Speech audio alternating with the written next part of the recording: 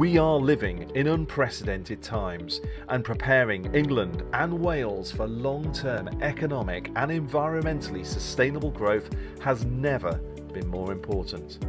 Enabling more trains gives us more space, more capacity to keep deliveries, people, and businesses moving.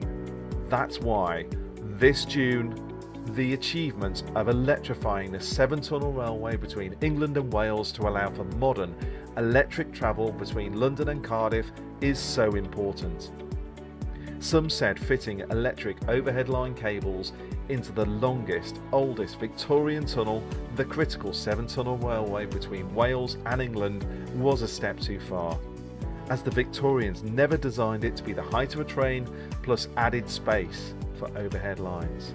Also, as it's a wet tunnel with 21 swimming pools of water being pumped out of it every single day, it wasn't the easiest project or ideal place for 25,000 volts of electric power cables.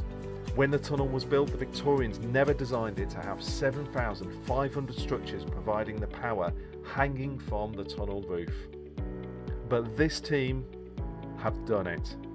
They've installed electric overhead lines through the tunnel using aluminium in new ways, a UK first with upgraded track and drainage, enabling more trains a day, thousands of more seats in faster electric trains, reducing journey times between London and Cardiff by 15 minutes.